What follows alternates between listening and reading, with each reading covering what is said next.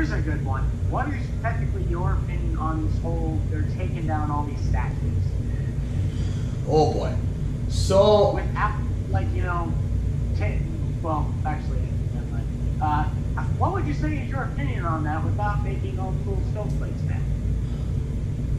So I, I said when the riots went off, I didn't I didn't want to take sides because yes, black people are being oppressed, and yes, there's police brutality, and yes, it's disproportionate to black people. Okay, I've seen the statistics; it's real, and right. So it's the same topic I take on abortion.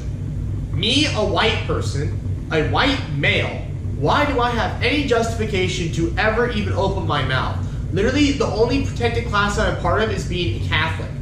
Other than that, I have oh no, Catholic sloth. Otherwise, I am ju- just as I'm close. I am closer to a wasp than any other group, really.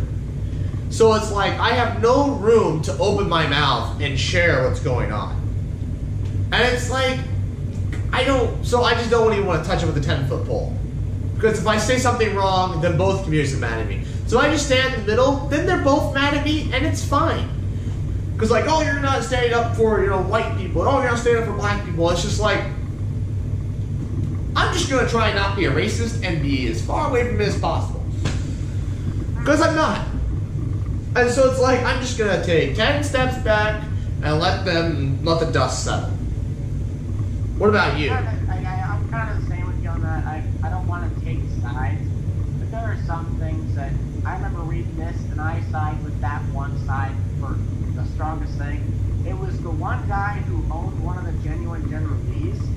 I can't remember which guy it was, but he told the news that he was going to take the Confederate flag off the roof of the car, and this was one of them that had John Schneider's Bo's, Bo's General Lee on the side of it. John Schneider messaged the guy saying, if you're taking that flag off, you're taking my name off with it. That's not a general without it. There were a couple extra choice words that were in that message. He said, in other words, long story short, you take that flag off, you take my name off. And it, it got a lot of attention. And now they're all, now a lot of those generals that are in museums, now they're, it's all kind of going all over the news. There, there's a couple of them that are saying, no, no, no, no, no. It's staying on the roof.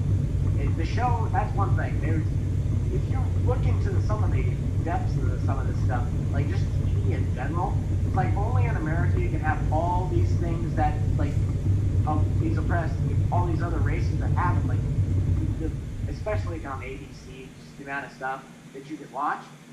Then then they'll go around and it's all on the news. It's now they're the ones that are being attacked.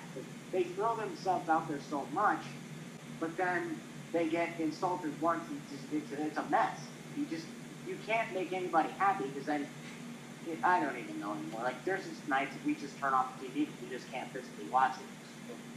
The amount of things that are just being thrown out. Come on.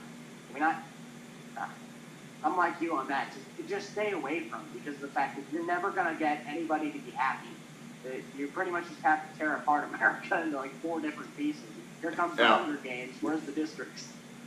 And actually, since we're onto this, let's just make this a new section. I'll just include what I, the last part into this new section here. That'll be difficult. But let's actually let's since since you're a big YouTuber or you're working your way up there, controversies. Are you are you ready if one happens? I got a baseball bat over there. If someone tries to break into my room, But I mean, that's like.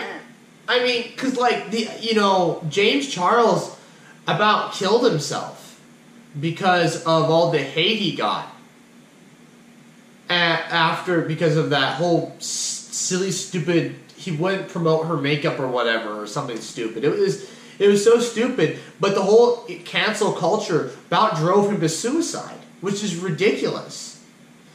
And so that's actually one of the things right now is like, what's your opinion of cancel culture? if as, long as I literally there's I'm not necessarily affected by it. If I'm not necessarily affected by it, I can care what go I can care less what's going on. Even when you drive into like Lincoln, it's still technically life as usual. What I would need to do to technically get a real side of this is to what's that is to go to like Seattle where they got the depoliticized zone. Like no police. They had that cops have to literally ask to go in to go get somebody who got shot or somebody who got hit. Like they have to. Think, No, that's that's not how things work around here. I forgot about that. They uh, the rioters took over a section of Seattle. I forgot about that.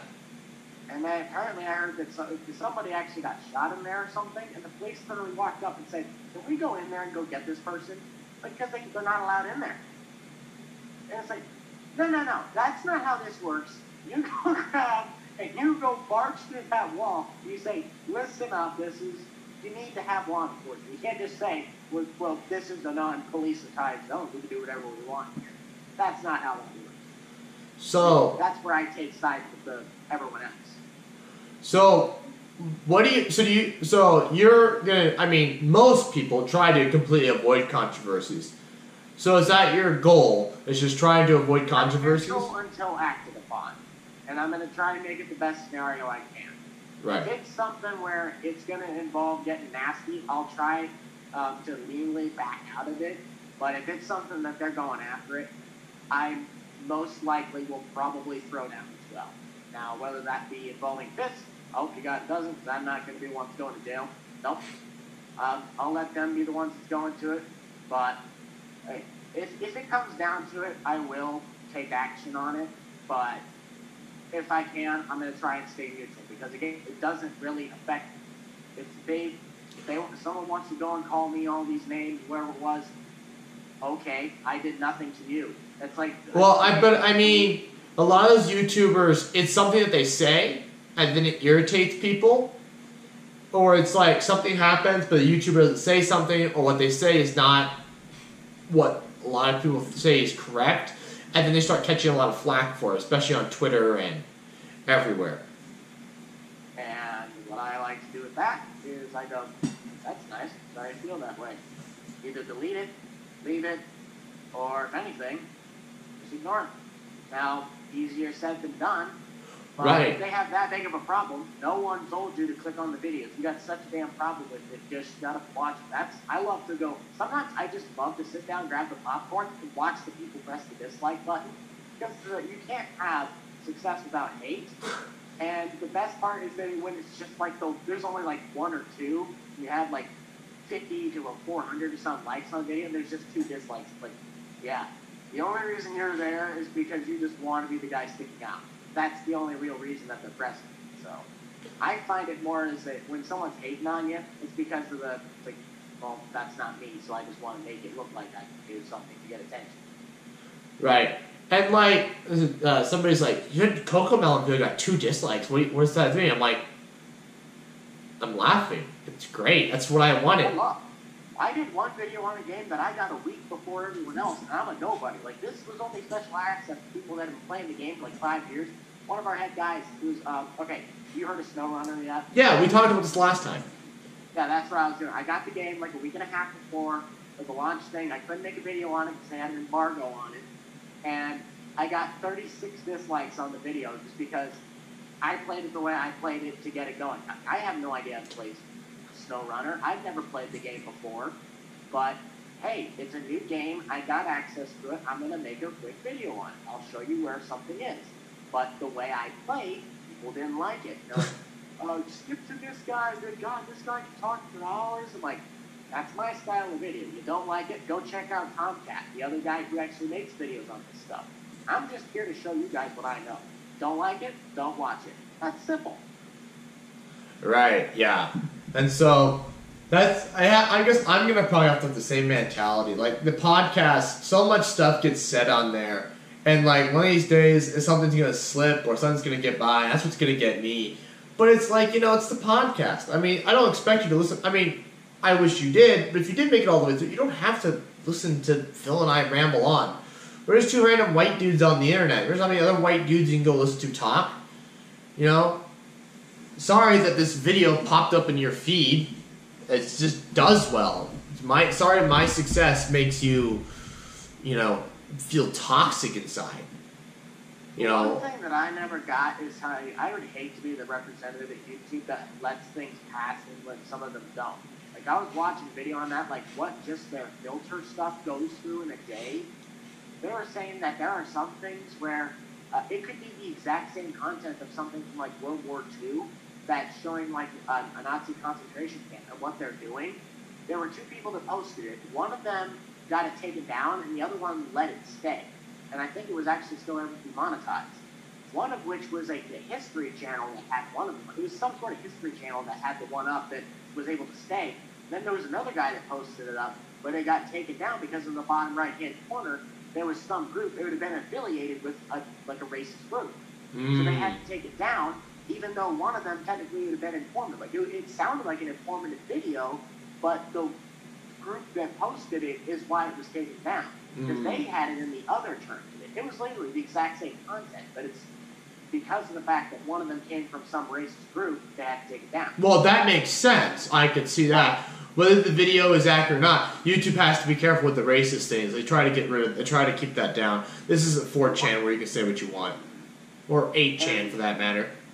The one thing that really confuses me and also makes me mad is the whole when they crack down COPPA, like I you can't tell I can't tell you how many times people that were in the gaming community got terrified that their channel to be taken down because of the fact that they were saying like you can't have this in there, this, this, this. Literally all of it was the same caliber of what was in a gaming video. And then they came out like a week later saying, yeah, this won't affect anybody in the gaming community unless you're doing something stupid. But like there's one guy that I used to watch all the time and I can't tell you the amount of dope in some of those videos now. It's just sad. And and a lot of the time it's it. He watches the same videos like six times, and he does videos on them, and he, he pretty much just stages everything on his channel. Still hasn't got, he's gotten like four or five strikes from YouTube before. Like he's been taken down before, but he still keeps going. Like people like to watch it, but it's like why?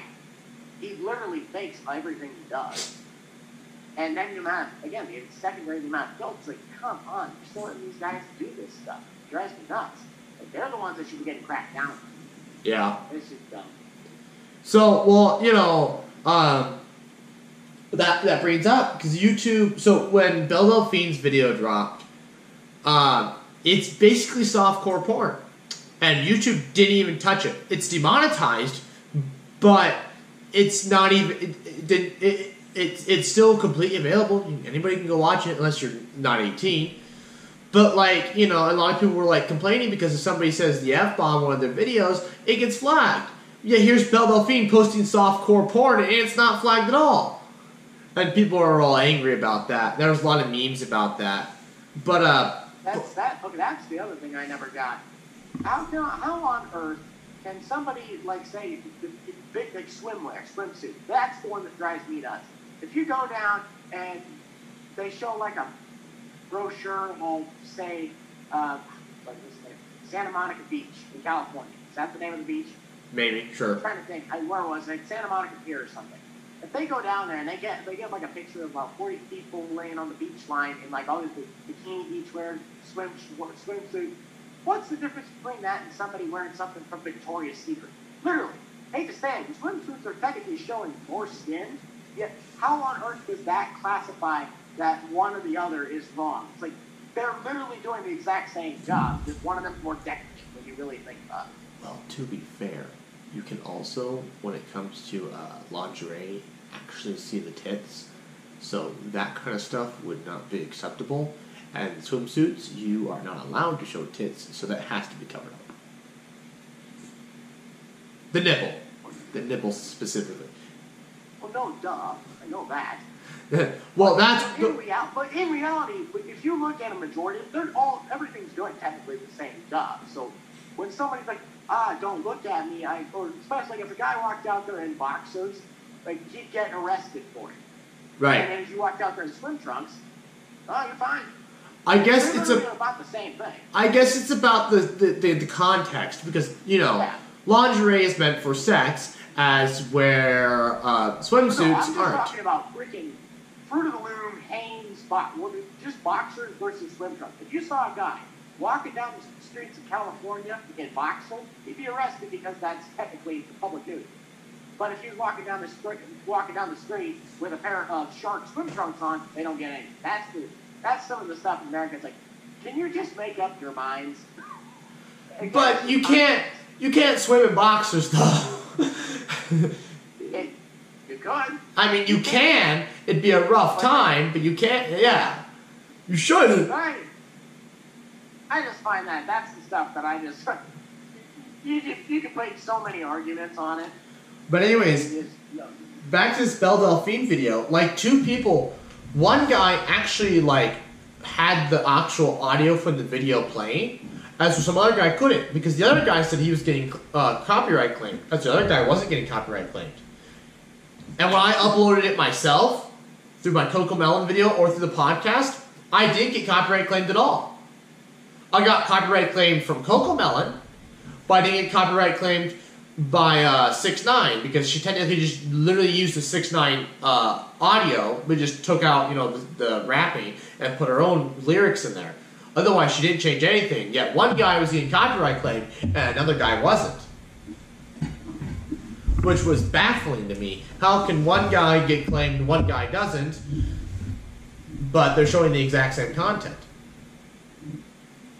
Yep. And then there's me literally re-uploads it, the actual video she uploaded, and I didn't get anything.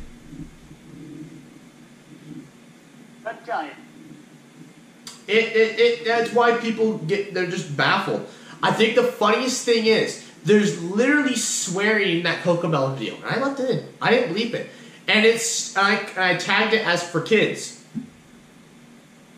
and it's still tagged for kids.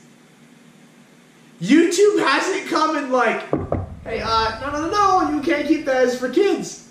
There's literally Belle Delphine twerking in the video in basically nothing, and nothing. Now, granted, there's like no views on it, but like, but still, it could have gotten plugged. up. it could have easily ended up on YouTube for kids, and so some parent clicks on it, which was the whole idea of the video.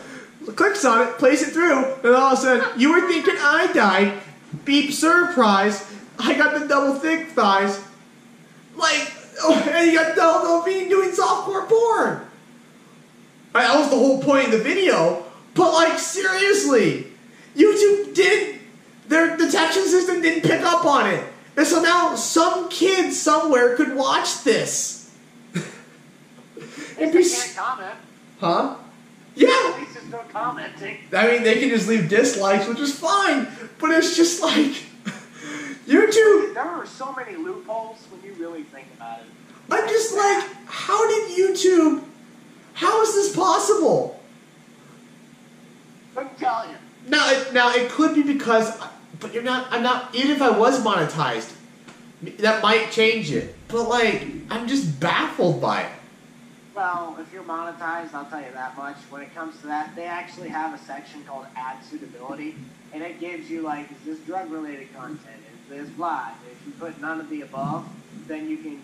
There's like there's a very bottom, there's a bottom checkbox. I don't know if you'd have clicked that if it would have picked up on it, but um, depending on what it is, but you have to like check certain boxes. Like I was doing the one, uh, FNAF one, and I put on there might be light use of swearing because when the headphone comes off my head and I'm gonna be just screaming and like screaming at this terror, who knows what's gonna come out of my mouth? Like I'll try and watch my mouth, but if there's someone that's running down the hallway coming after me, there's gonna be some weird words coming out of my mouth. But those are certain things like you have to prep for them in case that that's there. But like when I did my first World of Tanks bid and I did the whole whatever it was, I was trying to decipher: do I put does this have gun violence in it? Like it doesn't show gory content, but it's still I'm firing a gun at another thing and technically trying to kill it. Is that bad? And I just put It's a it's above. a gaming video. It's that's what I'm saying. I was just confused. I'm like, does this? Because it was reading it, and it sounded like I would have had to have checked that, but I didn't, and then I got away with it. So apparently it was fine. But I was like, still, I'm just kind of confused on it because I'm like, well, does this qualify as like Rainbow Six Siege? You'd have to do something like this is Probably. content because you could blow someone's head off. That. yeah, or like uh, just some of the zombie games are really bad, really notorious for it.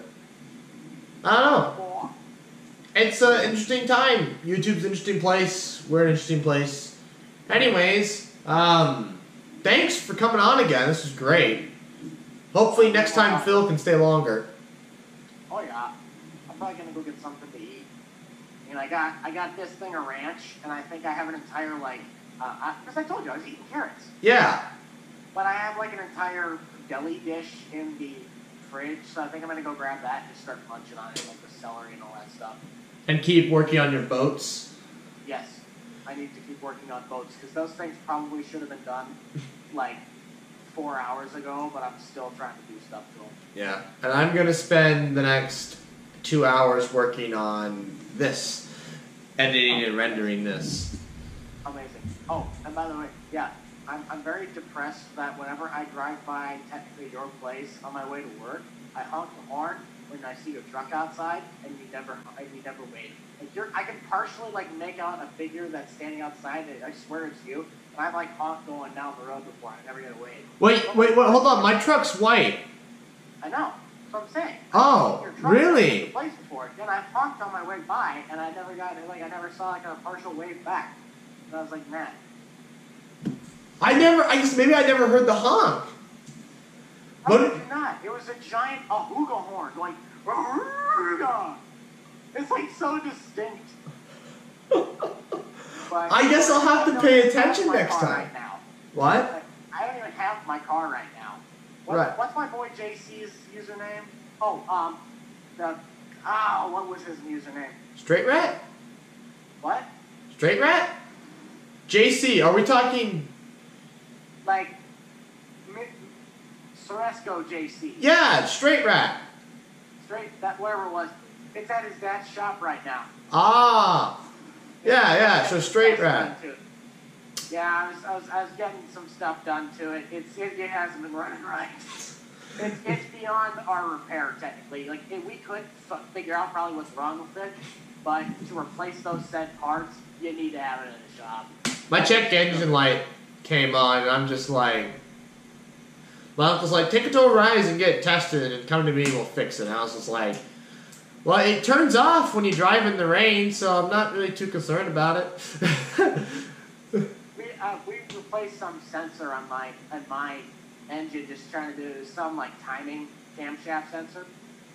We undid the bolt that held it in, and then we tried to pull the thing out. Not even joking you, you could have stuck your hand in, looked like this, and when you pulled it back out, still not even having it, you probably had a quarter inch thick of grease and oil on there. Like that's how dirty my engine block is. Oh my god. You probably just could clean off the engine, like making it look like new, and it would probably run like a brand new car. there's probably nothing wrong with it besides the fact that there's like some gasket that's just completely shot. Well, replacing your head gasket's a pain in the butt. Oh yeah, it's pull off the headers and all that. It's been expensive. Well, anyways, yeah. um, well, you want to go eat, and I gotta run into this, and uh, been great. Uh, I'd like to thank you all for watching. Please like, comment, share, and subscribe. New podcast every Friday, 2 p.m. Central Time. Make sure you go check out Buch, even though I'm sure you're all here from Buch. So, and good night.